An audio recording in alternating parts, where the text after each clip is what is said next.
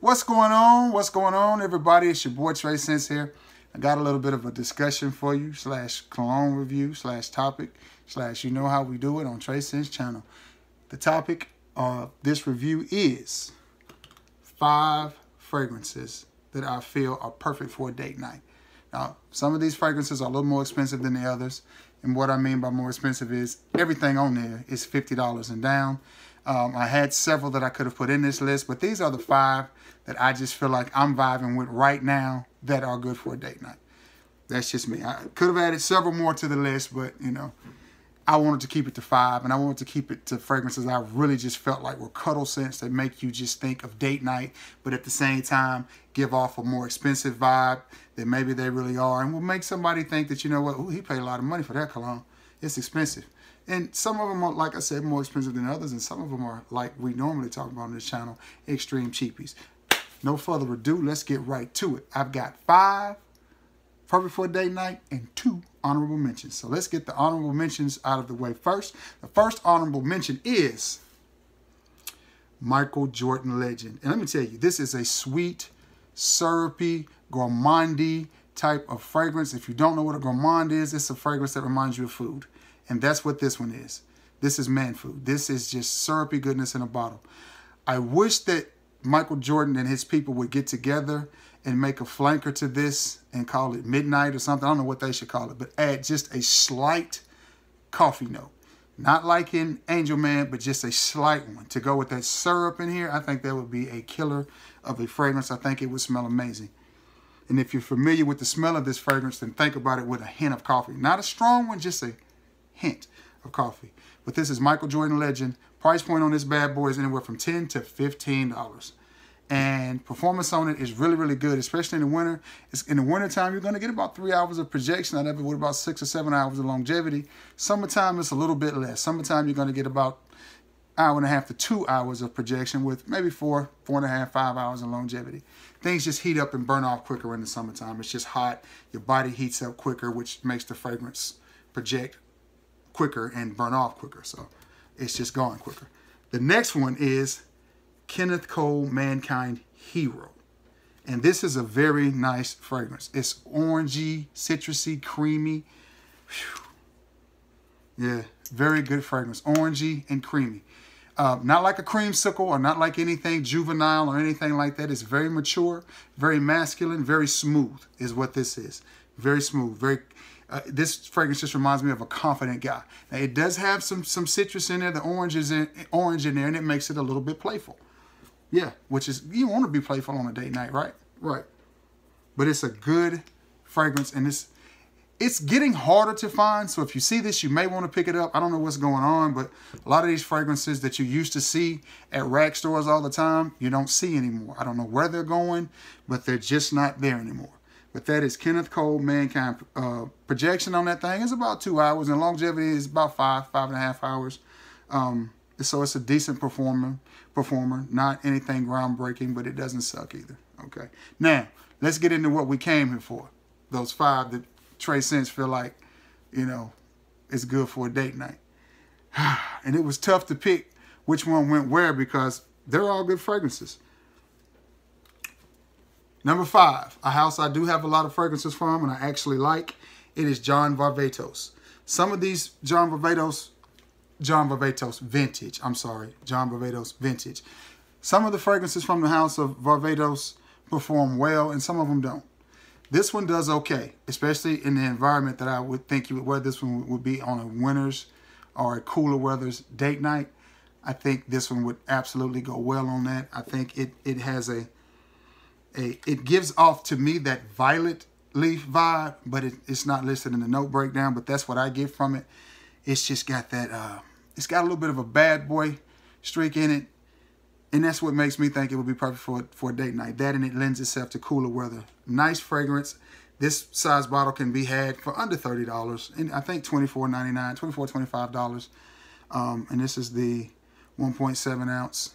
So it's not, it's not, I think it's 1.7, maybe the 2.5. I stand corrected. This is the 2.5. And you can get it for about um, $24.99, I think is what I paid for this. I picked it up at TJ Maxx. But number five on the list is John Varvatos Vintage. Nice fragrance. You, should, you guys should try this if you haven't already. Very nice smelling fragrance. That is number five on the list. Number four on the list is from one of my favorite houses, a house that's dear to my heart. And honestly, if you can't find something from this house that you like, you're really just not trying. And that is the house of Perry Ellis. And this fragrance is Perry Ellis M. This fragrance is very, very nice. It's rich, seductive. It smells way more expensive than a 20 to $25 fragrance, which is where this one comes in. This one draws comparison to Chanel Allure Homme, I think, and you know Chanel is about $100. This is about 20 and this is a uh, pretty good sized bottle. This is the one point, I'm sorry, the 100 ml bottle, the 3.4 ounce bottle. And it's nice. I sprayed it on earlier. It's very nice, very seductive. It gives off a little bit of a boozy vibe, but not a drunk boozy, but just a little, just a hint of booze. The cinnamon that's in it does come through. Just a great fragrance. Definitely a good uh, date night fragrance. Performance on it is, is pretty good. It's you know it's not bad. Again, two two and a half hours of projection, six to seven hours of longevity. The longevity on it is good. Of course, it turns into a skin scent somewhere during that time period, but most fragrances do. But that is Perry Ellis M. Very good fragrance. Nice fragrance from the house of Perry Ellis, who is not a clone house, but they're not necessarily the most original house either. But that is a good smelling fragrance from that house, especially for the price you pay for it. All right, moving along to the number three spot on the list. And a fragrance that's a little bit more expensive, but I think you can definitely get this fragrance for under $50 now. And it's from a house, you guessed it, another house that I love because they make good inexpensive cologne. And that is the house of Azzaro. And this is Azzaro's Wanted. Wanted by Night is good too, but I don't have that one yet, so we're sticking with Wanted. But this is definitely a nice romantic fragrance. It smells in the lines of Sauvage, uh, Bleu de Chanel, Dylan Blue, all of those. I'm not sure what the note is in there. I know one of my wonderful subscribers and watchers will tell me that there's a certain note that those fragrances have, and this one has it too. And it is it's it's it's nice. I love this bottle. I think it looks great in the collection, but more importantly is the juice. This is some good smelling cologne. And you can get this big old, what is this, 3.4 ounce? Yeah, 100 ml bottle. I've had it about a year and it was 50 bucks, so I'm sure the price on it has come down now. I'm sure it's probably closer to 40. And if you get a smaller bottle, I know it's going to be closer to 30 or 40 bucks. Um, I don't know exactly, but I know that it's under 50. And that is a great date night fragrance in the summertime or in the, the fall and winter. I think this one could be worn. I would not wear this in the high heat. It just, to me, it just doesn't go well. It's too thick and I can see it getting away from you in the high heat. But definitely on a cool summer's night, rock it cool summer's day rocket. Just stay out of the sun. Definitely on a date night, whether it's winter or summer. I think it's the perfect fragrance for a date night. All right, we'll get into the nitty gritty. I got to take a little sip, guys.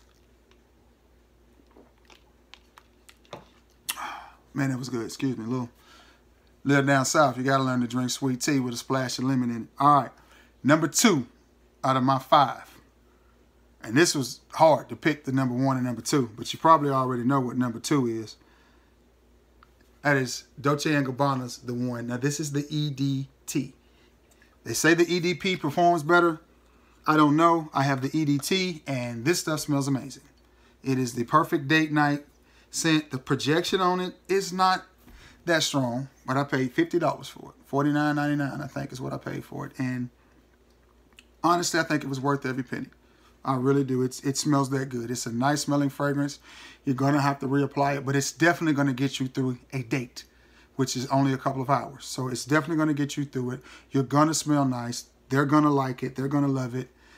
Um, citrusy at the top with that smoothness at the bottom. Again, it's a little bit boozy. It lends itself to a little bit of a boozy accord, but it's a great smelling fragrance. And I think it is perfect for a date night, summer or winter. I think it lends itself to both. I think the, the, the citrus in it lends it to the summer, and I think the, the liquory vibe or the alcoholic vibe, boozy, that's the word I'm looking for, the boozy vibe kind of lends it to the winter. So I think it goes both ways. I think it's just a versatile fragrance, smells good. They say the EDP is better. If I run across the EDP, I'll pick it up. But for now, we're rocking with the number two spot, and it's Dolce & Gabbana, the one EDT. All right.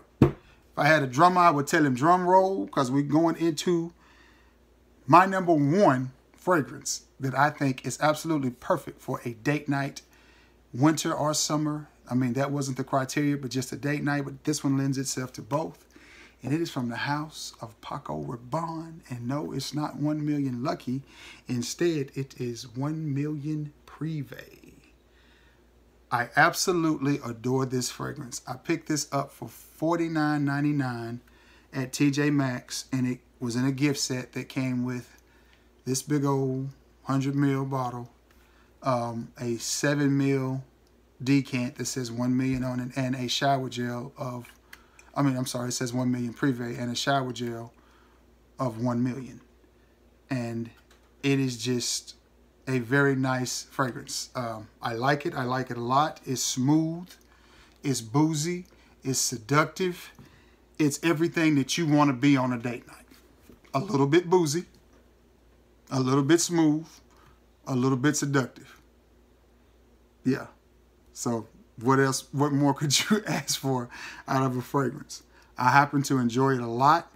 Uh, my lady likes it, and of course that means a lot. Of, as a matter of fact, she likes all of these. So, you know, there's a little bit of input to you too, fellas. I mean, the ladies like these fragrances. They smell good. This one happens to be my favorite out of the list. I think if she had to pick, she would pick Wanted, partly because she bought it, but she would pick that one because she just likes the way it smells. But for me, this one is number one. All right, guys, I'm going to run through real quick and just give you a recap. Number five, John Varvatos Vintage. Four, Perry Ellis M. Three, Azzaro's Wanted. Two, Dolce, Dolce, whatever, Gabbani, Gabbana, Dolce & Gabbana, the one, the one is number two today. And the number one fragrance is, and you see it right there, plain as day, number one, Paco Rabanne's 1 million Privé. Absolutely love these fragrances. All right, guys. Thank you for sticking to the end of this video. I know 12 or 13 minutes is a long video, especially for me, but we had seven fragrances to get through. You know the drill. If you have any familiarity with these fragrances, Let's talk about it in the comments below. If you've got five day night fragrances out there, I'd love to hear them. Tell me what your five day night fragrances are. Um, like, share, and subscribe. If you hadn't already, subscribe, like this video so people know that you like my content and let YouTube know that you like me. Share so all your friends can get them five date night fragrances. Um, again, if you have any familiarity, familiarity with these fragrances, leave it in the comment below and we can talk about it you know. And if you got a date tonight, I hope you choose one of these, and maybe you'll get, you know, you know. Anyway, thanks for tuning in. Like, share, and subscribe. Have a good Tuesday. Until next time, see you guys. Peace.